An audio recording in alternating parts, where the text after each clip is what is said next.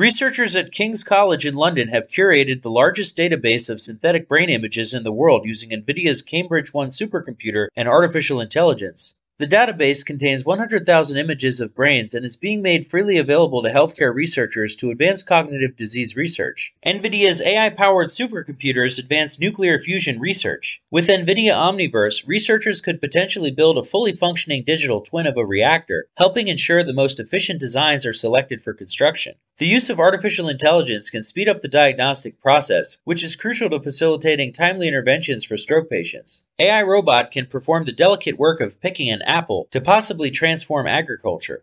And that's the roundup of the AI news for today. Make sure to subscribe to get the latest news on the cutting edge of artificial intelligence, robotics, brain computer interface, and the SingularityNet AI economy and the decentralized, democratized ecosystems that use it. And thanks for watching.